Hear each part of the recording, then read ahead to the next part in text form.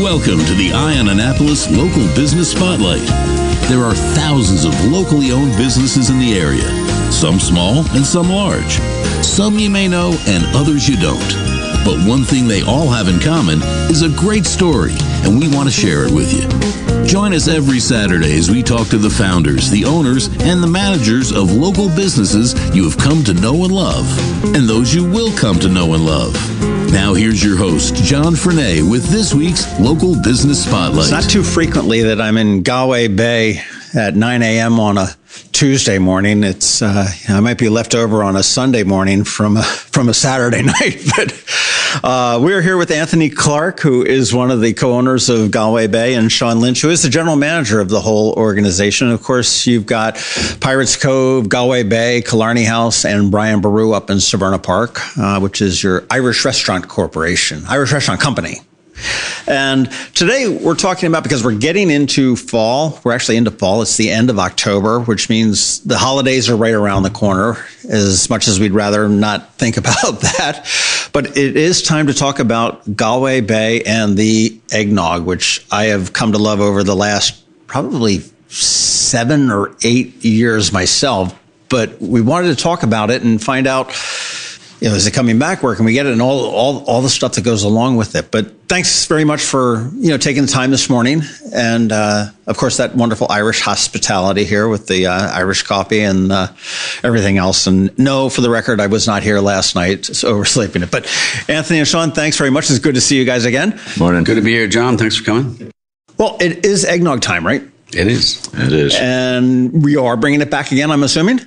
We already have it in. It's it's come across the border. We ordered early this year just because of all the container issues and everything with COVID.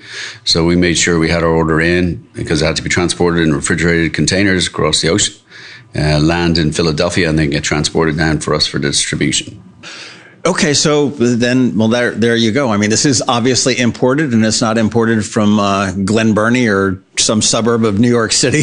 no, made in uh, Bailieborough, County Cavan, in Ireland. Really? Mm-hmm. Well, what what is the history? Now, first of all, this is probably some of the best eggnog that I have ever had. Um, I have, you know, as as a kid, the dairy eggnog without the booze in it. Mm-hmm. Uh, and then as my taste matured as an adult, I, you know, obviously you've got to add a little bit of hooch into it and, and go from there. But this is some of the best eggnog that I have ever had. Um, it does have alcohol in it, so you uh, don't want to feed it to your kids unless you're trying to make sure that they go to sleep a little bit early that night. But um, What's the history of it? Why do we why did we have to bring it here? So this goes way back for us. You know, we had a we came across a brand. This is when we were just with Galway Bay and Killarney House, I think, at the time. So we came across a brand that this uh, distributor was selling. Yeah, it was called Brennan's Irish Eggnog. Brennan's Irish Eggnog, and I, we didn't know at the time that they were really just trying to get rid of it, but we had a niche for it. We were able to sell it. We could sell it by the bottle, and people loved it. We made cocktails out of it and started creating, and it became a kind of buzz just in this restaurant in Galway Bay. We did that for two years in a row, and then we ran out the middle of the last of that last second year because they ran out because they stopped making it. So we spent the next three years going back and forth. Mike went over and Vincent Galway went over to, for about two or three times to do tastings with the company with a similar recipe that used to make it, and that was Terra Liqueurs based in Bailieborough, County Cavan. After multiple tastings and then getting the approvals from the, the FDA, is it FDA? FDA, ATF. ATF, and all uh, the labeling. A, a, distributor and an importer. and putting all that together. Three years after that, we introduced Galway Bay Eggnog to the Annapolis community. Since that time, and that's around 2009, 2010, um, it, it has just grown in demand, you know, 20%, 25% year over year since that time to bring us to this point where we're now selling it at all of the locations. Our local big liquor store here, Bay Ridge, sells a ton of it to its local customers down in that base. Um, and we're in over 90 liquor stores now uh, statewide. So that's our intention is to continue to grow it. And, and once we find, once people taste it, get accustomed to it, then they'll buy it every year as a repeat, either a Christmas gift, their own family, uh, family use um, or just to enjoy themselves on the rocks. How, just from a business aspect, how does this work? I mean, do you you guys import? You've got a container ship that comes over and it comes into Philadelphia, and we we get it down here. There's some probably some storage place. Do you actually as Irish Restaurant Company and you guys distribute it to the liquor stores or? No, no with the laws in the state of Maryland's three tier system obviously. So you have to have an importer. It's made from a, a, distillery imported by an importer into the country and then a distributor a licensed distributor picks it up. So uh, Breakthru Beverage is our distributor and they also distribute whiskeys vodkas a range of other products beers the whole lot to it and they distribute it throughout the entire state then Okay, so they they and then and then liquor stores or restaurants can order it directly off their distributor from that, and we do the same thing. We order and Breakthru deliver to us. The recipe. What what makes it so different than everything? What makes this so good? I mean, I'm not looking for the secret recipe. Yeah, once mean, you taste it, you'll notice it straight away. As you mentioned earlier, you were used to the um, the homemade or else the stuff which comes in Tetra packs at a supermarket where you add liquor to it, and those are very uh, thick, if you like. Um, and heavy. Uh, the recipe that we have developed is more like a, a, liqueur, and it's lighter in consistency and more milky in consistency. Um, so it's more, it's easier to drink, and it's not overly strong. It is. Uh, but it's flavored nicely with cinnamon, nutmeg, and other spices. But it is um, it's it's an easier drinking thing. Uh, it's more an alcoholic beverage more so um, that is acceptable to people. Uh, when they're looking back on their childhood and their teenage years, if you like, they're they're not having that heavy thing, heavy eggnog. Okay. There's a big difference between here, you know, this country and Ireland. You know, we're using. And this distiller is a reputable distiller. It makes all a lot of the Irish creams that are on the market itself but they use Irish cream, and that's a huge difference. Just like Kerrygold butter over here has a different butter taste. Okay, right. Because the, the milk that comes from cattle in Ireland's all grass fed. The fat content is much higher. That's why our chocolate is different, all the reasons. And that's why the cream that we use to make this blend with whiskey, Irish whiskey that's distilled at this distiller as well, and the spices and nutmeg create that flavor that's similar to an eggnog over here, but has a difference. It has another angle at it, that enjoyment of you know, sometimes people go to parties and somebody else made the eggnog and it's like, you know, they won't touch it. But at least if you bring this one as a gift to your, your family gathering, you know what's in it. It's made, it's consistent all the time and you can just add to it if you want. So you get a great base product with great alcohol, great cream flavor. So this is not a diet product, right? No, it's not. but, and that's the, the secret is once, once people taste it, they realize just how different it is and how much they enjoy it. Um, and as Anthony touched on earlier, we get get a lot of people who buy it as their Christmas present and Secret Santa and stuff like that. And a lot of people who bought it as they're traveling out of state for Thanksgiving, they buy it and they bring it as a gift and they're told, you know, the next year, it's like, if you're coming, yeah, bring some eggnog. well, you said the, the growth keeps growing year after year after year. Conceptually, how many bottles or cases do you import each year to, to cover your demand? This year, we increased our order. We're up to four and a half thousand cases um, that we import and will sell through the restaurants and through liquor stores. And we we are pretty certain our outlook this year, even with COVID last year and the order that we had, we we didn't know what would happen last year with our eggnog order because we were actually closed for a part of it, particularly for inside dining. Right. And the restaurants sell a bulk of it. And the festival was cancelled, all of that. And even after that, we were able, we, we sold almost 75% of the containers that we brought in for gifts. People come to the door. They got it obviously in the liquor stores because the liquor stores were doing very well. So we sold 75 to 80%. So we were only left with a little remainder. in it, the product's good for two years on the shelf. Okay. Um, so this year we brought in two containers. We're at that capacity, so it's limited. And we, we predict that we'll probably sell out just by the middle of December, possibly, because of the demand that we've already heard of and seen, and that prediction of what we'd roll around because we're fully open and, and the estimated business. Last year, we, we, had a lot of phone calls asking us could we ship it to them, you know, especially for people who lived in the Annapolis area and moved away. They, they were calling up saying if we could ship the uh, eggnog, and we can't do that, obviously, it's against the law. So um, we were telling them, do you have any friends in the area? You know, maybe they're traveling to there or, um, you know, and even some midshipmen who are they're going home. Their parents have been into town visiting and they've had it, so they asked the midshipman to come by and pick some up and bring it with them. Um, but we would have probably sold a lot more uh, last year. Sure. Well, what what is the law? I mean, can I buy a case and sh- I know I can't ship it in the mail, but I, can I can I as a as a consumer Yeah, mail you can, case you can to, do with it what you want. to a friend in, with FedEx or UPS or something like that? You They can might ask try. you. I would, I would label. I'm, I'm, I'm, I'm, I shouldn't give any advice on that, but if you want to call me, I can give you some advice uh, on how to do that. But technically, it's illegal to ship alcohol across state borders. Okay. So, and as Sean said, we just, you know, try and get people to connect with other people. I, I go back and forth to South Carolina, so I'll bring some for different orders for people that I know from there that I've introduced it to. So it's, it's just that annual thing. It's become part of that annual event for people during the holiday season. And for instance, uh, last year, I mean, we get, as I said, get calls from across the country. But a gentleman came down last year from Michigan. He called me ahead of time and wanted to make sure we had it. And he drove down. He came in one morning and uh, he said, "Yeah, just came in from Michigan, and he was here to get five or six cases of eggnog. He was driving back up the same day. He had some Irish breakfast, and then he turned around and went drove back up. And then he said he was taking another two of those cases out with his with him to his brother when he visited him in Seattle. So, uh, I tell know, you, you, you go to the dictionary, you look up dedication, man, you'll see that guy there. My my word, he, he came from really liked his brother. Oh my word! That's right. And I think even with the shortages that are going to go on here this, you know, November to December with all the containers stock, the gifts are going to be hard to come by, creative gifts. And what, you, there's nothing on the market like what we do. It's Irish. It's got that revelry associated with it with regard to the holidays in, in America as an eggnog. Um, it makes a perfect gift for, for any, any family occasion visiting or, or, or whatever.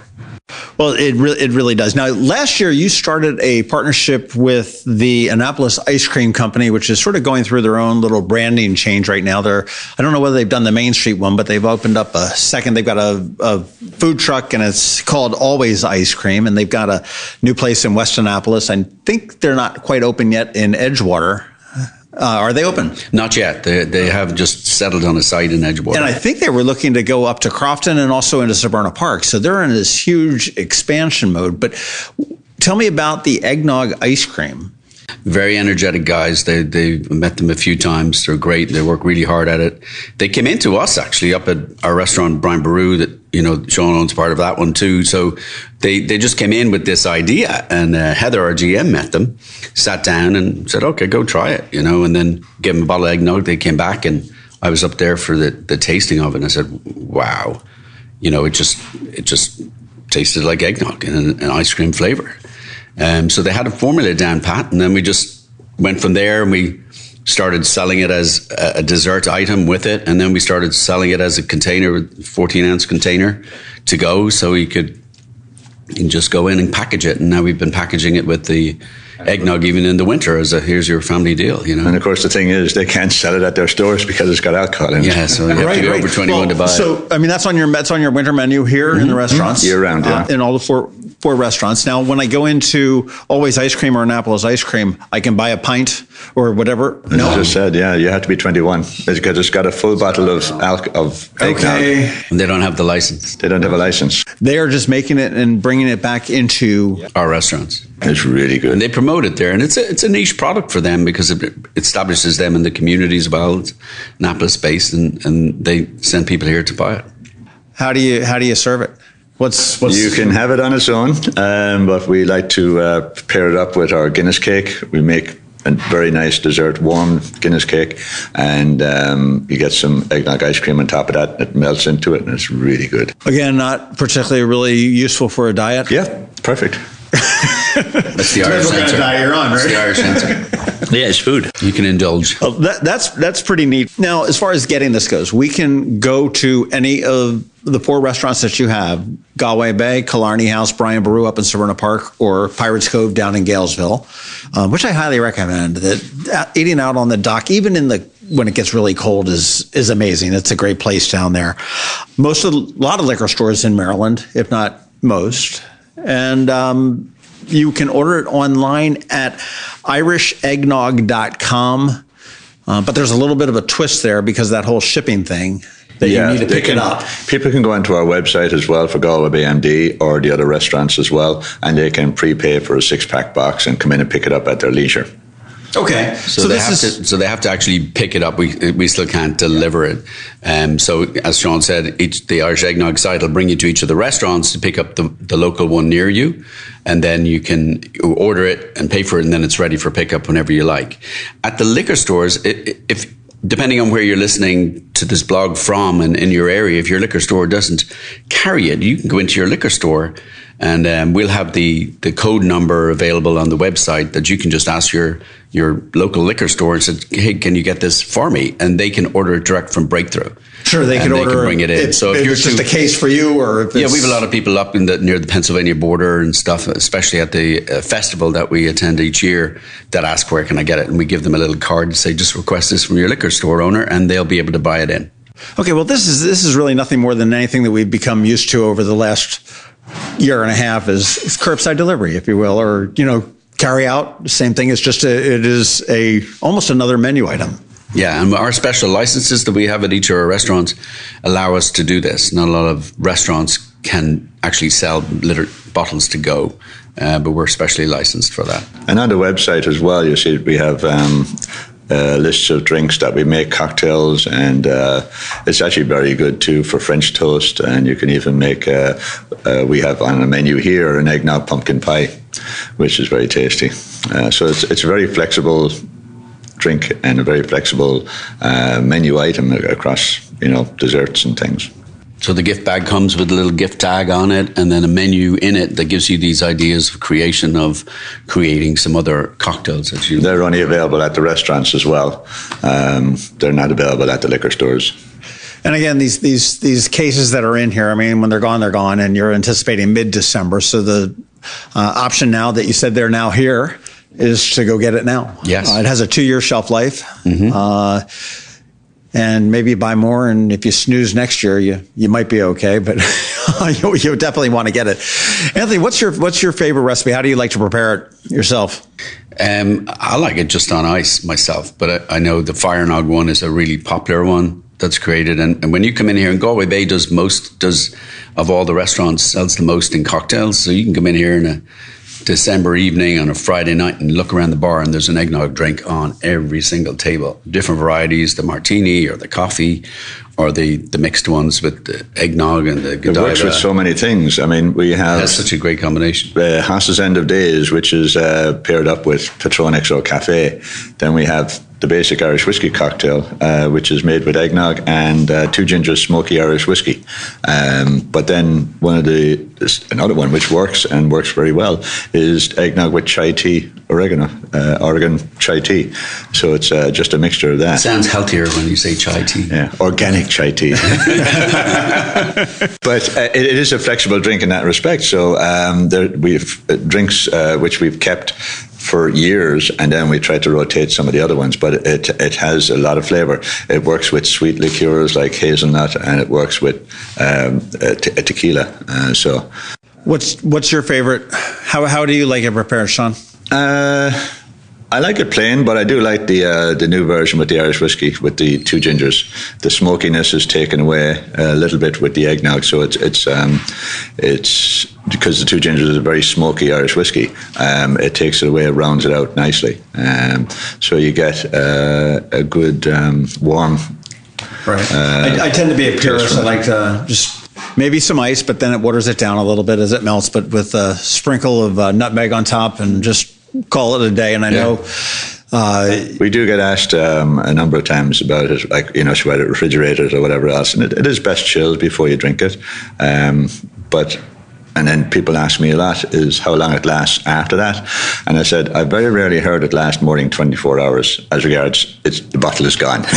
you wouldn't have to worry about the shelf life because the bottle goes very quickly. Uh, but it has a long shelf life even after it's open. Just keep it chilled. Right. My, I know my girlfriend also loves. Um, dumps it in the coffee. I don't do coffee, but yeah. it's, it's just oh, yeah. like you know, there you go. Yeah, and it's, it's a very popular one. You see go out over the countertops here as well. Do your bartenders cringe? Because it's like a sticky kind of a. No, I mean, no, I mean as, as, a former and, bartender from about twenty years ago, and they're very creative with it because it's it's a they've come up with the recipes. Yeah, they've come oh, up with the recipes. Yeah. A lot of them. Um, it's trial and error too. they yeah. enjoy that part, uh, but no, it's actually it's an easy sell um, because people will come in, especially here, and they'll see other people drinking it, and I said, "You have eggnog?" And it's like, "Yes, it's our own," and whatever else. Uh, but it's it's it's a it's a trustworthy uh, drink uh, giving to somebody. Um, it, it is you're not they're not going to be disappointed by it. Um, and once they taste it, people do get into it, and it is uh, it's a, it's um, it's a good fun drink. You know, it's a, it for us here. It's a good introductory thing, especially for newer people uh, who come into the area it gets the bartender talking to them. They give them the history, and they get talking to our customers because you'll you'll see it all the time. One person's drinking it, and they say, "What is that?" And then they'll just say, "You know, this is it." This they bring this. The customers are and, selling and, it to them, and they tell somebody, and they, they tell somebody. Yeah, it's, it's very amusing when the customer, uh, one customer, is selling another customer ordering. drink. it's, it's right, put, put, putting the servers out of business. Yeah. And we're very proactive with the uh, the samples for particularly for new customers or guests. And when we're packed in here or any of the restaurants and we're on a wait, it's one of those things we use to engage the customer already, even if they're waiting for a table, maybe looking at a menu a bit bored, then our host or maitre d's will just come around and offer a sample so they get a little taste of something. And it's a, for, for us as we design it that way, it gives them an added welcome to the restaurant and to our, you know, you know that's it's all about the Irish hospitality. And it's funny you, you talked about that it's you know it's, it's Irish whiskey, it's Irish cream, uh, and it's being sold by you know an Irish company, and and that just really speaks to just authenticity. And I mean everything that you do uh, in the three Irish restaurants per se. I mean we'll sort of exempt uh, Pirates Cove for a little bit because it's not traditional Irish. Um,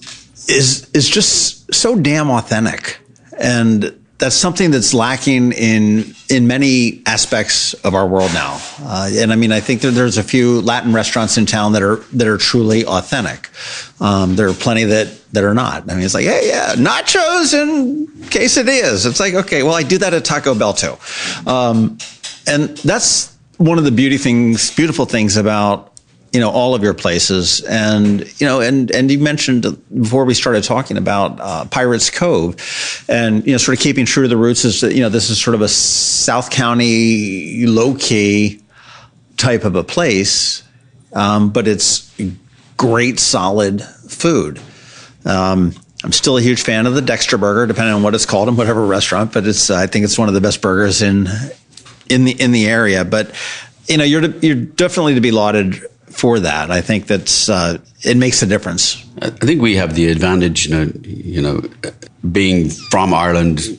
Sean, myself, Michael, um, we, we grew and up. even there. the accents we were, are authentic. Yeah, he's, well, he's from Cork, so it's a little different, you know. We, we forgive him for that. I'm from Dublin, Michael's from Kilkenny. So we grew up in, in, in that kind of hospitality era of, of Ireland, you know, before the Celtic Tiger and all that stuff. So that's what we brought over here with us, and that's what our our true essence is about. And that's why we wanted to create local community restaurants, which do that. And even with Pirates Cove, and we don't incorporate the Irishness into it. Just really, we just we bring the eggnog there because our customer base is familiar with it, and it grows there as well at the same time because it just doesn't sell as many as the Irish ones would do. But we still impart that desire to do good food, create an experience, and Chef Steve Hardison has been able to we've been able to talk to him about Irish dishes that we grew up with, and he's been able to turn around and create something like smashed peas that we never would have even thought about, or the curry chips that we do here is is so authentic that I feel like I'm just at the chipper van at two o'clock in the morning. You know, that's what you eat. Right. Um, well, used to eat anyway, I guess back then. But um, but that's that's what creates all of those different things. And I don't think we, we would still do the same even if we did a Mexican restaurant or something else in the future that we would be able to create that community atmosphere and sure. that would bring it across. Sure.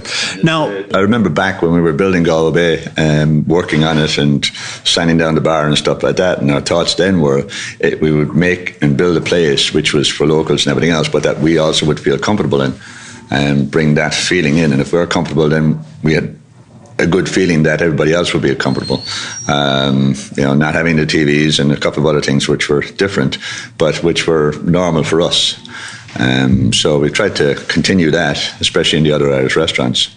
Right. Well, I know that the Downtown Annapolis Partnership is gearing up for Midnight Madness. Uh, December 2nd, 9th, and 16th are the dates. So that's the Thursday evenings always a great time downtown because uh, you end up finding stumbling across people that you haven't seen in a year, and you, that, that's like your one night to do it. And I know in the past that you guys have been out uh, on the sidewalks welcoming people into Galway Bay as well as offering samples of the eggnog. Is that going to be happening again? Oh sure yeah, is. I think it, this year is going to be.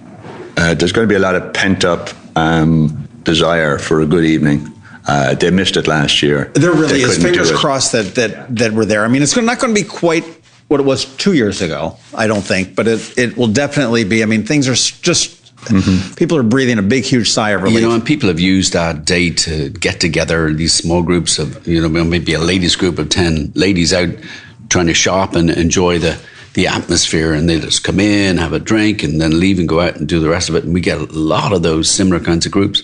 So it's just a great day. We love it. And as I said, we do the taste outside. I know it's going to be very busy because yeah, I gauge it in a way as well from just talking to people. But I also know that Christmas Eve for us is great fun here. Uh, I got a reservation. I had inquiries in March, and I took the first reservations in June. So that's for Christmas, Christmas Eve. Eve. Um, so going back from that, I know what's going to be happening through the month of December. The anticipation factor is already there. Um, you know, people calling for other reservations for different times. Uh, but yeah, it's going to be a very busy month, no matter which way. Funny story. I was on Reddit um, not too long ago, and somebody had asked. Uh, a recommendation for some good sports bars, and somebody suggested that Galway Bay would, was one of their favorite bars, and I said, "Man, that place sucks for sports." That's right. That's right. We do. And I'm like, and they're, and they're like, "No, man, it's the best bar." I said, "I said, how many TVs do they? How many screens do they have?" But you know, even the ones that want about they they sit at the bar and they'll have their little phone there and they'll be looking at their game. Or oh, it, it, was funny. Galway Bay does not have any televisions in it, and it is true to its roots. As, I think we're the only one in Maryland that doesn't have a TV as a pub. Think of the money you save on the, you know, on the thing.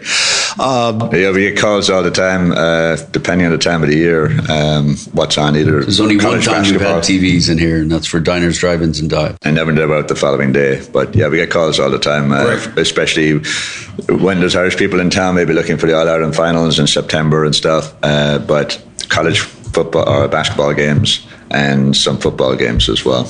Uh, but we don't miss it. You know, it? you know, it's it's much better to make new friends. That's right, and that's what we find. It brings people in. They they talk to each other at the bar, and that's what the, the bar, the pub scene was all about in Ireland. You know, go down and have a chat in the pub. You know, right. Well, I'll tell you as we wrap up, I do want to say also congratulations to 20 years at Killarney House, which has just passed. That was in September, and uh, I. Uh, personally, I'm refusing to believe that because that, there's no way in hell that that I've been, around. you know, I barely think I'm 20, much less seeing a bar, a restaurant that's been around for 20 years. But you guys did a series of fundraisers throughout the month, and you raised nearly $8,000 for local nonprofits. I think there were seven of them that you did, and you know that's just again speaks to the community aspect of your business and about you know giving back.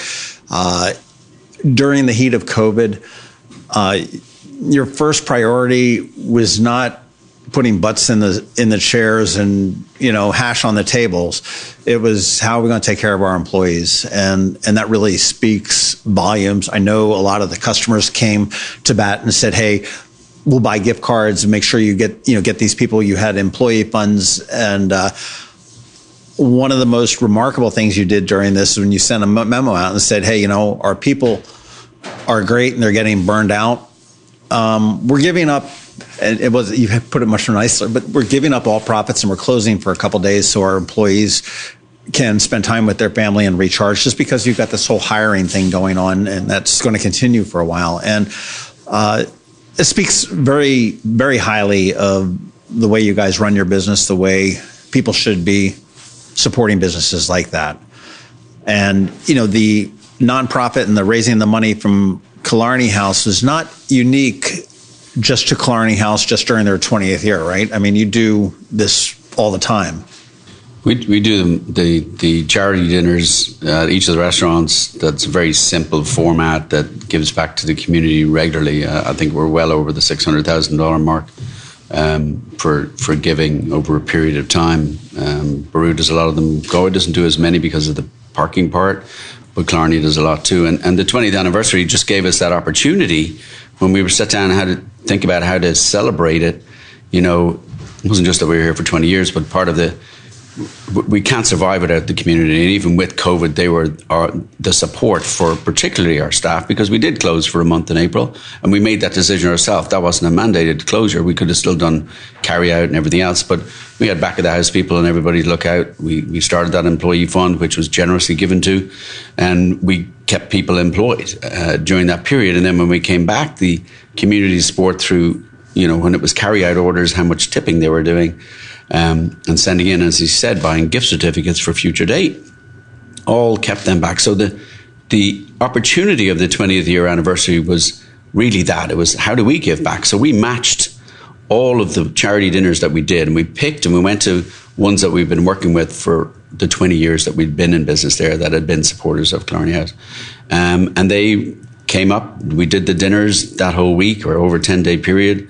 And yeah, it was close to eight thousand dollars that we ended up giving back within that week. That's fantastic. Sales. So it was great to do. And this and this is not. I mean, again, if you are involved with a any kind of a nonprofit, if you've uh, you know a neighborhood uh, is getting together to help somebody that has some outstanding medical bills. We've done that for staff members here who've been going through medical crisis, and the staff have contributed. We've done fundraisers for them and been able to keep them back on the straight and narrow, take care of their rent uh, and stuff like that. And that's for our own people as well as other people have done it for other people. And if you want to have a you know a good time, we just re- brought back in the, the quiz on Tuesday nights here at Galway for charities. We had it suspended for, we had it last November, uh, October time, and then we were cut down on restrictions again on seating. So we've only just been able to get to the stage where we can start the quizzes up again, which are all for charity. Um, so that's a bit of fun on a Tuesday night where people can come in and take part in a quiz, paid ten dollars, and then the winning team gets to pick the charity. We don't know who it's going to be each week, but um, you know they can right. get anywhere from sixty to hundred dollars depending on how many teams take part. But that was fun bringing that back because we had a lot of requests to bring it back, but it was just we weren't able to do it for the longest while. I will say that the, the pub quiz nights, that's not for the faint of heart. They take it very seriously. They do. Oh, yeah. John's a very good host at this and keeps them all under control. Yeah, the quizzes, uh, Nobody they can get um, very uh, contentious about some of the questions. It, uh, there, there was one. Not it wasn't here. There was another one where it was. Uh, I should have known better, but I was playing. Had a lawyer on our team and disputed when uh, Yes had released some album back in the 70s and he knew that the original release was in Britain like a month before the US release. And I mean he just went to the host and he was all over it. And he, I mean they were like look dude shut up or you're we're throwing you out. We're throwing you You'll be barred. It's a game. It's yeah like, it's, it's like, sometimes no. you write a question down and you think you're very precise about something and then somebody comes up and says no it's not that you know like can you read it this way? You can read a question but two ways and you know what? It's like it's you know it's, it's I, the way I, I wrote it and the way yes. I'm answering it. That's what, what Sean has to declare at the beginning that his result is final. I've been here. It's good, it's good fun, but it is definitely challenging. So, um, but it is for charity. That's the other thing. It's fun. And that it is. That's you. You leave with a belly full and uh, and a heart full. And that's so, part of the fun part of it, the contention. True, true. Anthony Clarke and Sean Lynch, thank you very, very much. We're here again at Galway Bay on Maryland Avenue, one of my favorite streets. Want to make sure that you hit it up on Midnight Madnesses, which is the 2nd, 9th, and 16th. Get a sample of the eggnog if you've never had it. Uh, come into any of the restaurants Killarney House, Galway Bay, Brian Boru, Pirates Cove. Uh, samples are available there. You can get your bottles there. You can get a case there you can go to your probably your favorite liquor store and ask them to order it if they don't have it and get it soon because it's not going to last very long. I know that uh, two years ago it got very light at the very end of the year. Just, yeah, you'd have to go searching for it. Christmas eve we sold out here i remember that day? Mm. but uh, i am looking forward to restocking my shelf again and uh, I, we don't stumble across one another before, but have a very wonderful holiday. And again, thank you very much for everything that you do for the community. We appreciate thank John. You, John. Thanks for being here. Appreciate it very much. Thanks for listening to this week's Local Business Spotlight. Please make sure to visit eyeonannapolis.net for all your local news, events, and opinion. And in case you haven't already, please subscribe to the Eye on Annapolis Daily News Brief, where we bring you all the day's local news direct to your phone, tablet, or computer in about 10 minutes. It comes to you at 6 a.m. every Monday through Friday, and you can subscribe on Apple Podcasts, Google Podcasts, or wherever you get your podcasts.